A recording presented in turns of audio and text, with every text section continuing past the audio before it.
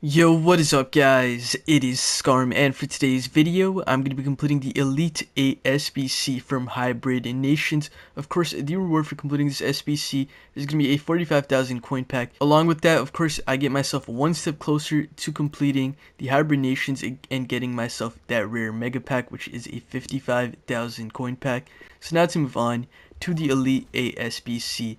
This is going to cost guys 5,000 coins to complete. No loyalty is required as you can see. And here are the players I did use.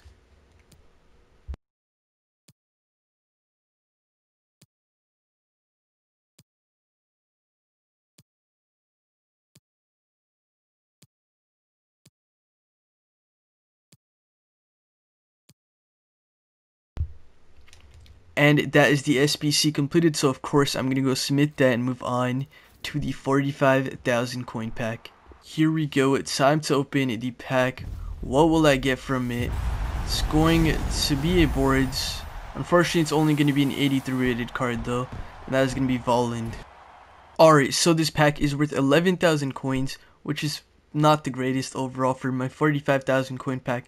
That's not great. However, that's still 6k worth of profit and I just have one more section left, which of course is the around the world section. So of course, if you guys are looking for solutions for the rest of Hybrid Nations, go check out my playlist. I have it on my channel. Go check out the other videos on it. Apart from that, guys, that is going to be the video. So please make sure to like, comment, and subscribe.